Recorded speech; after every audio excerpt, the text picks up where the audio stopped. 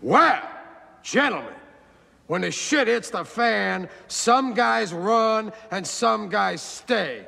You know, what there's a saying that when the going gets tough, the tough get going. Hell, I took it in the neck for my Brexit videos. Page after page of people raging at me, but that's the price of doing what you think is right. I mean, damn, I could have just as easily done what was popular, trivially so, without even breaking a sweat. However, it takes a damn sight more than people calling me thundercuck, or that I'm just doing it for self interest, or that scientists shouldn't be allowed to express political opinions they disagree with. You know, because being a scientist means that you shouldn't have a political opinion. Yeah, it takes a damn sight more than that, or a million and other one things that don't actually make an argument to change my mind.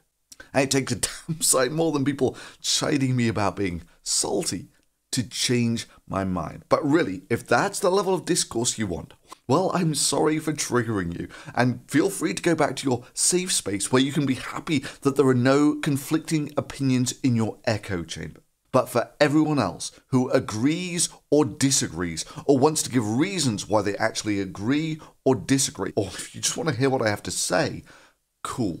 It's good to see that there are some freethinkers in the wide world. So, a couple of weeks after the UK voted marginally to leave the European Union, if you can't see the writing on the wall yet, let me just give you a head count. Within 24 hours of declaring that the uh, 23rd of June was going to be Independence Day. If we vote leave and take back control, I believe that this Thursday can be our country's Independence Day. Boris Johnson, the de facto leader of the uh, Leave campaign, was saying how important it was to make sure that we were closer than ever to Europe. In voting to leave the EU, it is vital to stress that there is now no need for haste, and indeed, as the Prime Minister has just said, nothing will change over the short term. And to those who may be anxious, whether at home or abroad, this does not mean that the United Kingdom will be in any way less united, nor indeed does it mean that it will be any less European. That this Thursday can be our country's Independence Day. We cannot turn our backs on Europe. We are part of Europe. Indeed, there was so much backpedaling that if he'd been promising that stuff just one week earlier, you would have thought he was campaigning to remain in Europe, not being the de facto leader of the Leave campaign. The second point I want to make is I've seen a lot of confusion over the weekend about uh, the status of people living in this country. It's absolutely clear that people uh, from other European countries who are living here have their rights protected all that people want to see is a system that's fair, impartial, and humane to all people coming from around the world. Oh, what you mean, Boris? We need something kind of like oh, what's the name of it? The European Union. And uh, also, obviously, people from uh, the UK living abroad, living in the in the rest of the EU, uh, will also have their rights completely protected. I, I, just worry there's been a certain amount of, of confusion in the media over the last over the last 24 hours. Thanks a lot, folks. And a day or two after that, he had gone from the favoured new leader of the Tories, after, of course, the Prime Minister resigned, to announcing that he wasn't going to be running at all. You who have waited faithfully for the punchline of this speech, and in view of the circumstances in Parliament, I have concluded that person cannot be me. But I know what you're thinking. It's easier to predict these things with the benefit of hindsight. I mean, after all, everyone is a general after the battle. It would have meant so much more if you'd have actually said these things before he'd resigned. What? You mean like uh, this? And the thing that's maybe remarkable about this footage is this is one of the lead Brexiters in his moment of triumph, his great moment of victory. And yet he has the demeanour of a broken man who has just lost the biggest battle of his life. But what about Farage, leader of the United Kingdom Independence Party? Surely he's hardcore, right? He'll keep on fighting for the independence of the United Kingdom from Europe. He's a believer. He's not going to back down, right? I mean, let's ignore the fact that on the night of the referendum, when Farage thought that he was going to marginally lose, Tonight, whatever the result, is not one for recriminations, but for a celebration that the landscape of British politics in the course of the last few weeks has changed. Win or lose this battle tonight, we will win this war. We will get our country back. We will get our independence back. And we will get our borders back. Thank you. But the quote here in the Mirror says uh, that uh, you told them that if the split in the result was 52% to remain and 48% to leave, then that would be unfinished business and that would be a reason to have a, a second referendum in. you know, because that's how Brexiters roll. You just need more referendums until you get the result you want. Because that's how democracy should work, right? Unless, of course, you win. In which case, you think that calling everyone else salty suddenly becomes a winning argument. Again, I can see the reaction in a couple of the rows there, you know, sort of whinging metropolitan losers. After um, an election or a referendum, even if you lose the vote, you are entitled to go on making the argument. When a government in this country wins an election, the opposition does not just say, oh, that's absolutely right, I've got nothing to say for five years. Well, I watched the interviews with Farage in the week or so after the referendum. Now, at the time, I was doing one of those 24 hour 7 experiments at a reactor, so making a video was just completely out of the question. However, it was bloody clear to me that Farage also had the demeanour of a broken man who had just made a career ending mistake.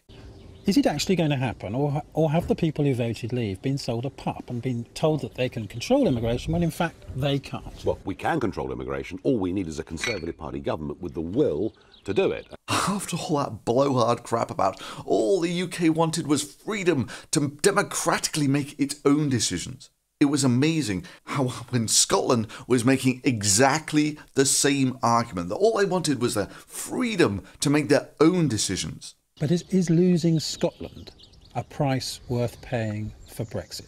All of a sudden, Farage thought that would be voting away their democracy. Is, is, is Nicola Sturgeon really going to hold a referendum against independence? Because that's what she'd be doing. I think I can see this as one of those irregular verbs. You know, I vote for independence, but when you do exactly the same thing and vote for home rule, you're voting away your freedom. Yeah, he knew it was a no win situation. Like a dog that's been chasing a car that all of a sudden stops. You just had a load of confused Brexiters looking at each other with that gaunt expression of, Dear God, we are so screwed. They were just empty promises. We never expected to win. People are going to lynch us when they realise that we only promised all of that stuff because we never expected to have to deliver on it. We never expected to win. Yeah, oh, all that backpedaling couldn't have been more obvious. All of a sudden, you had people like Farage saying, actually, yeah, we're probably going to need access to the common market after all, which will mean paying comparable amounts to Norway, which is a comparable amount to what the United Kingdom is currently paying for the EU. That is, Farage's deal is that we get no say, none whatsoever, not even a seat at the table on how the EU and the common market is run. But you will still have to pay about as much as you did before to get access to that common market. Farage, I don't know why you didn't lead with that in the first place. It's such a, a vote winner. Nah, Project Fear was so much easier, wasn't it, Farage? But even better, free movement of people is a requirement of the free market, just like it is with Norway and Switzerland. So, in essence, it will do nothing, absolutely nothing, to increase the security of our borders. Oh, and what about all those Brexiters who were predicting that Brexit would lead to a cascade failure of that rotten EU structure? Before there was any second British referendum, there, there will be referendums on EU membership in Denmark uh, and possibly in France as well. So if Britain doesn't leave the European Union, it's possible that somebody else will do it before us. Don't underestimate, right across the whole of the European continent, people increasingly are saying this European project does not work. Did that one at least come to pass? Uh, not exactly. In fact, the UK's sterling example has led to a sharp drop in the popularity of nationalist parties across Europe. A drop almost as sharp as the drop in the pound, and it's led to an enhanced feeling of unity within the EU. So, let's see what Brexit has achieved, shall we? We're going to pay almost exactly what we currently pay. We have to accept the free movement of people within the EU zone. So that's exactly as it is at the moment. The only difference is you will no longer have a member of the EU Commission appointed by the Prime Minister, and you will no longer have members of the European Parliament. It'll cost you almost exactly what you're paying now for no extra border security. But of course, you will have no vote on how the EU is run. However, the change from one to the other will cost you a gazillion pounds. It will result in at least two years of insecurity, which will lead to investment atrophy within the UK. Further, it will probably lead to the movement of the United Kingdom financial services, which currently make up one sixth of the UK's GDP, to within the European Union zone, from which they will never return. Because honestly, moving an industry like that costs money, it's a barrier. Well, you've given them enough energy to cross that barrier, and once they're there, they're never coming back. So let's take a possible scenario where half the city locates to the Eurozone. You will reduce the GDP by, I don't know, let's say 10%, as just, just a ballpark number. That's you're reducing the tax pool of the country by 10%. 10% less for schools, for roads, for policing your borders, for running the military, for the police force, and so forth. I mean, let me just put the scale of how screwed the UK is into perspective. The government's just put up 150 billion pounds for quantitative easing. That's 2,000 pounds for every man, woman and child in the UK. That's the cost of four brand new iPhones for every man, woman and child in the country. It's the equivalent of buying 40,000 tons of iPhones. That's about the same weight as a battleship of iPhones. That's the scale of the things that were needed to stabilise the UK. Well, let's see what the Brexit movie had to say about that, shall we? Isn't that good of them? I wonder where they got the money. Yeah, damn straight that money doesn't come out of nowhere. Fundamentally, it's from the British public. So, yeah, thus far, all the UK has done is have a non binding referendum. It's not even publicly stated that it's going to leave the European Union. It's wiped 10% off the value of the pound. Oh, before some muppet comes up with that, oh, but a low pound will be good for exports thing. Where have you been for the last 40 years? We're not China. We don't have a large manufacturing base to benefit from that weak pound. Nor does our manufacturing base have the ability to expand easily. Are you finished, Mr. Slade? No, I'm just getting warmed up. So it's wiped over 10% off the value of the pound. It's had the Bank of England standing by with last chance saloon quantities of money. It's lost the UK its prized AAA credit rating within a week or so of Brexit, something that it sweated blood to keep hold of during the last recession and it set in motion at least two years of investment atrophy and threatened the financial services of the city relocating to the European Union. Yeah, all those Brexit campaigners have gone from cheering, adoring crowds, waving flags wherever they went, to meeting the people they've screwed over, to meeting the parents of the children who are going to be screwed over.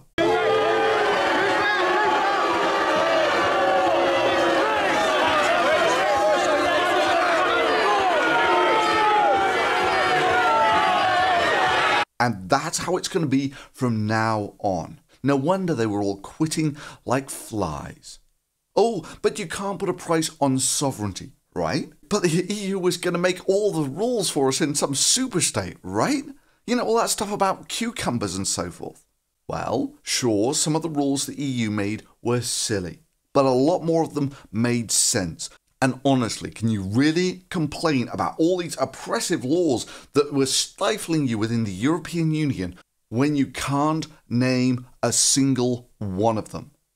A, they're Yeah, asking people no, but they're asking actually- people to give up their sovereignty, in, in the long term. That's the oh, goal. What, what sovereignty? Okay, Come on. no, what no, no, hang what on. sovereignty? No, I want to know what Go on. sovereignty have you given up for the union, for the EU? Okay, fifty percent of the laws are made by people I didn't elect. Bullshit. Right, name one of them.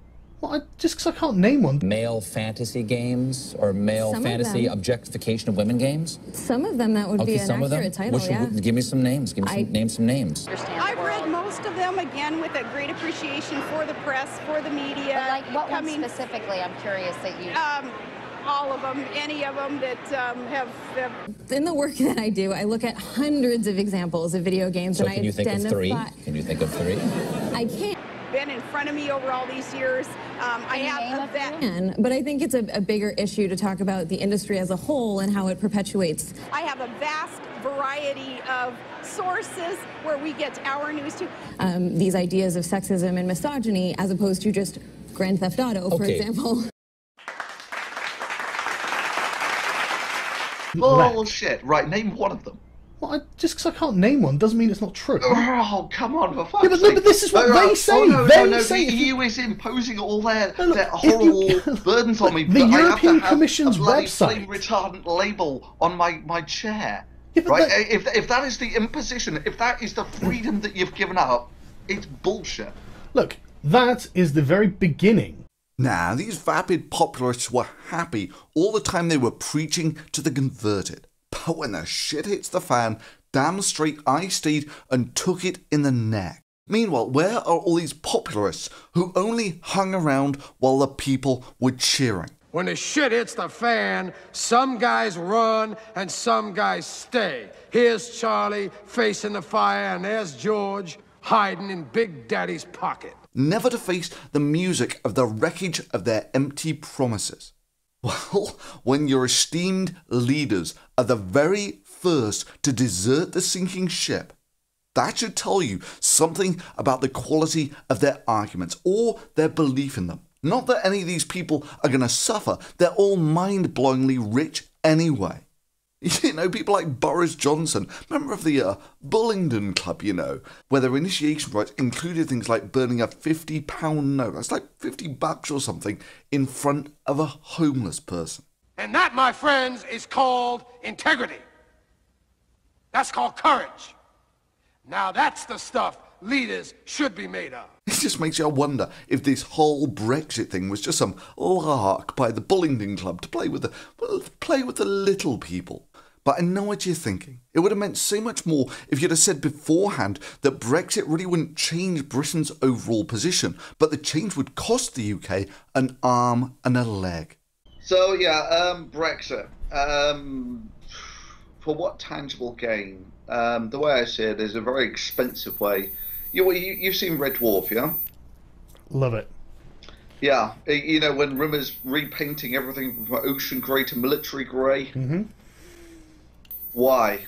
What the hell's the point of that? It's just a very expensive way of changing things from something to exactly something is a, a, a difference without a distinction, and it's just going to piss everyone else in the world off, which is about what you see. You take a look everywhere else in the world. No one else wants this because it's a sort of more or less pointless change.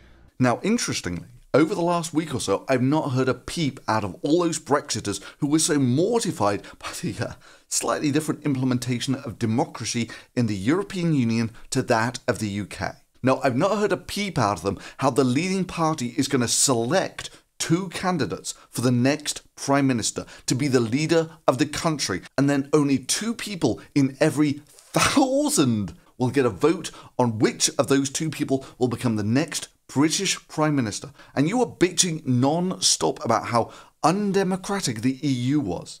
But when something like this happens, not a peep.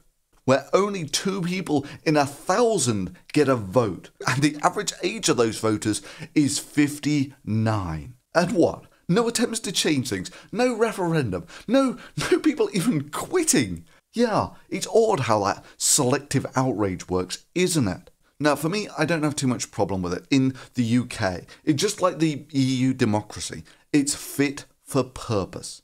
But I'm not going to have some selective vision about how there are problems with the EU Parliament while ignoring those of the UK. However, I did enjoy the massive backtracking of every leader of the Tories. I mean, the whole thing was a complete farce to begin with. The Conservatives are always looking to spend less money on everything, which is sometimes a good thing and sometimes a bad thing. It's just hilarious. These people were taken in by the idea that if the UK managed to save 300 million a week, which of course they wouldn't, most of that 300 million a week was spent straight back on the UK for things like urban development or science or that sort of thing. The idea if they managed to save 300 million a week, they would suddenly spend it on the NHS was a joke. The 350 million pounds a week we send to the EU, which we will no longer send to the EU, can you guarantee that's going to go to the NHS? No, I can't, and I, and I would never have made that claim. That was one of the mistakes I think, think that, that the Leave campaign made. What Hang I, on a moment, that was one of your adverts. well, it wasn't one of my adverts, I can assure you. Oh, really, Nigel? So you wouldn't expect to find, say, footage of a UKIP MEP giving a speech in front of that exact same sign, would you? Do we want to be part of an insular, inward looking, little 1950s little European bloc? No one tell the UKIP MEP that that tiny little backward European Union is the largest, or maybe second largest, economy in the world. I mean, he wouldn't want to let facts get in the way of his disinformation now. Well, it wasn't one of my adverts, I can assure Well, you. Well, that was one of the Leave campaign's it was, adverts, it was, that it that was, money was going to go to the NHS. And I think they made a mistake. I would like that 10 million to be spent helping the communities in Britain that your government damaged so badly by opening up the door for Okay, the there's communist a lot countries. in And here. what people need, No chance what people need here are Okay. schools, Something- hospitals, Amy, GPs. That's why people, many people have voted. They, they, they made a mistake in doing that. But what I can tell you is we have a nice You're feather saying bed. after 17 million people have voted for Leave, Yeah. based, I don't know how many people voted on the basis of that advert, but that was a huge part of the propaganda. You're now saying that's a mistake. Let alone the idea that they would suddenly develop a conscience over science funding. Oh, and by the way, for all those who thought I was a EU shill or something, don't let the fact that I'm not funded in any significant way by the EU fool you. EU funding for science is mostly fine. It's just the UK which is screwed. It's just they get a lot more money out of the EU for science than they put in. And I look forward to all you Brexiters campaigning for a conservative government to restore funding parity to UK science. Yeah, congrats, Brexiters. You just screwed over UK science. And for those of you in UK science who have been screwed by this, yeah, I'm sorry. But honestly, I took one in the neck for this. Anyway, like I was saying, shortly after the Brexit, for a week or two, it looked like all the potential new leaders were going to play the uh, wait and see card. Uh, the, the wait and see on invoking Article 50. yeah, well, I've seen that sort of thing before. Like the UK said when it was going to join the euro, they were going to do it when the time was right. They had to meet five criteria for joining. And mm, what are we now? 15 years on, and everyone's forgotten about it. Yeah, that's the sort of commitment I expected to invoking Article 50. Sure, it's a path that will cause years of investment atrophy in the UK. But the plan is politically acceptable because it doesn't require the political suicide of a politician. And really, who's going to complain about such a wait and see plan? I mean, doubtless there will be some hardcore Brexiters left, but maybe you should just remind them how you shouldn't take anything a democratically elected politician says too literally. However, then some folks turned up in the race who said no, they were going to invoke Article 50 as soon as possible. And look what that did for the pound. So now it looks like it's going to be a race between Theresa May, who actually campaigned against Brexit, leading to the obvious question if she can be the leader of the Brexit, why couldn't Cameron? And then Leadsom, who only three years ago described leaving the European Union as economic suicide.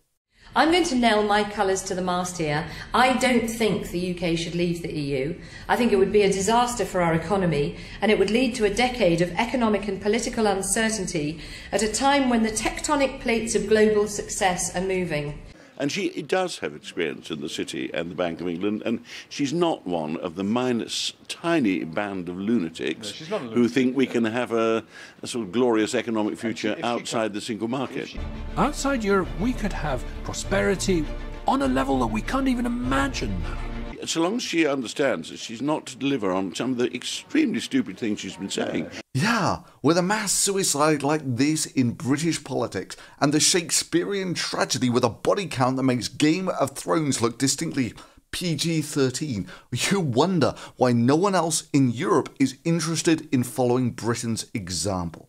It's a real sad irony in some ways, in that I had page after page of people saying that I was only doing this for self interest, when in reality, exactly the opposite was the case. Personally, I had more to gain by the pound devaluing than staying in the Eurozone.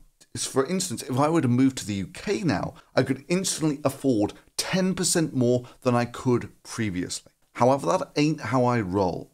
I didn't do this to win favour with people. Hell, that should have been obvious from the voting on the videos. I didn't do this for self interest. I did it because I could see that it was a mistake of astronomical proportions. Astronomical proportions. I mean, you think Ken Hamburger $100 million on the Ark Adventure Park was a joke.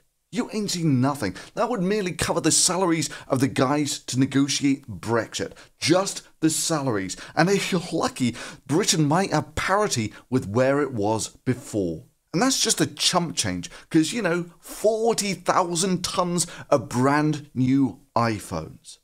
And sadly, while it does actually give me some pleasure to say, I told you so, after weeks of bitter comments, the reality is the cost for me is some slight discomfort and some skin thickening of one man.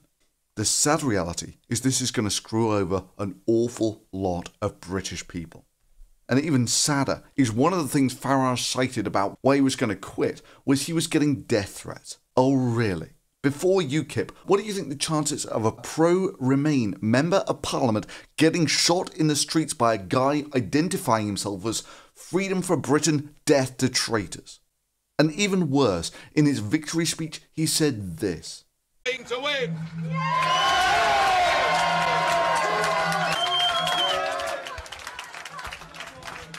And we will have done it. We will have done it without having to fight, without a single bullet being fired. He claimed that no one got shot in his revolution. Nah, wasn't quite true, was it, Farage? And now the man who thrived on the polarisation for success is quitting because he's just too much of a pussy to face the train wreck he was instrumental in causing. Because, you know, his whole party was based around quitting something than trying to actually fix it, trying to make something better. I mean, what did you expect? Of course, he was going to quit. That's the way you represent the United Kingdom Independence Party. While the UK exists, of course, that is to set in motion the wheels that will lead to the destruction of the United Kingdom. Then, you know, I've achieved everything I wanted to. I win. Now, where's my MEP pension? I mean, I don't want to speak for history too much here, but my reckoning is he will be written up as one of these mindless popularists who was happy to milk the teat of nationalism till it looked like he was going to be held accountable for the empty promises he made. Then he decided he needed his life back. Oh, how fortuitous for him that he can laugh all the way to the bank on his MEP salary, which increased in value 10% now that the pound's devalued. While all of those guys around him are suffering from the financial carnage he caused. But hey, it must be hard for him to relate so much to the uh, common man on his £85,000 a year salary for a job that he barely goes to. I figure the rest is a matter for history. But when people voted for Brexit, it seems pretty bloody clear that this clusterfuck was not what they voted for. And if they had to vote again today, fought against the multinationals. We fought against the big merchant banks. We fought against big politics. We fought against lies, corruption, and deceit. Sure, Well, but that was one of the Leave campaign's It was, adverts, it was, that that was, money was going to go to the NHS. And I think they made a mistake. That's why people, many people have voted. They, they, they made a mistake in doing that. Honesty, decency, and belief in nation, I think now is going to win. All the people that put their cross down for leave saying, this is what we want, they seem to be getting a group of people who say, we can't stop immigration, we can't give 350 million, oh, and um, by the way, there might be quite a lot of austerity. Sorry, bye. So it's an interesting test for British democracy. The result of the referendum was obtained through empty promises. And now it's clear that they're empty promises. And what the Brexiters were calling Project Fear was actually Project Reality. It seems that few would contest that the referendum result of only a few weeks back, which showed a, which showed a marginal desire to leave the EU, is no longer an accurate measure of the will of the people, due to facts that have since become self evident. So it's an interesting test for democracy. Should the government blindly implement a referendum which, by almost any account, is no longer an accurate measure of the will of the people and is against the interests of the people? Or should it seek a more liberal interpretation of democracy? You know, like uh, where, I know, say, two people in every thousand in the country get to vote on the new prime minister, or, or some democratic issue like that. Anyway, I'll leave you with the sterling words of wisdom of one of the potential new candidates for prime minister, and what the Brexit will likely mean for the United Kingdom in financial terms. Take it away, Andrea. I'm going to nail my colours to the mast here. I don't think the UK should leave the EU. I think it would be a disaster for our economy and it would lead to a decade of economic and political uncertainty at a time when the tectonic plates of global success are moving. And she does have experience in the City and the Bank of England, and she's not one of the minus tiny band of lunatics No, who think we can have a, a sort of glorious economic future outside the single market. Outside Europe, we could have prosperity on a level that we can't even imagine now. So long as she understands that she's not to deliver on some of the extremely stupid things she's been saying,